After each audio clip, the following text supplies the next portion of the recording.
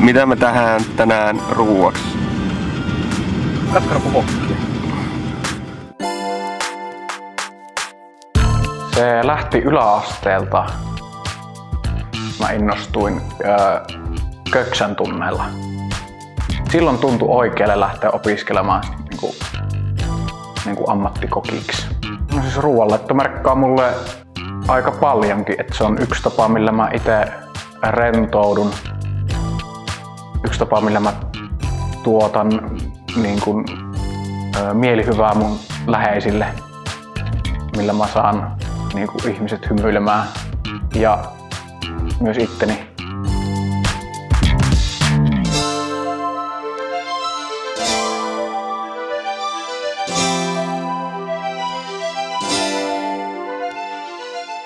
Antaa paljon enemmän kuin sä itse tiedät, mistä ne raaka-aineet tulee.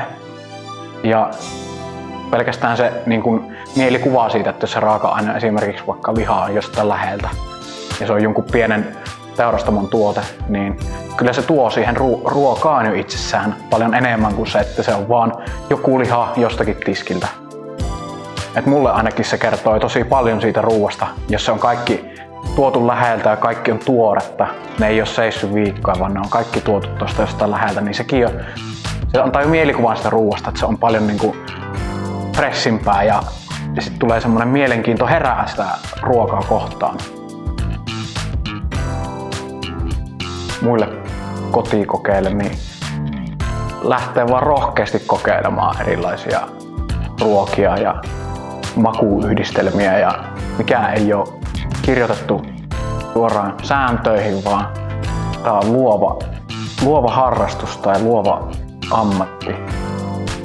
Niin meillä ei ole kuvaa tämän maailman raaka-aineita.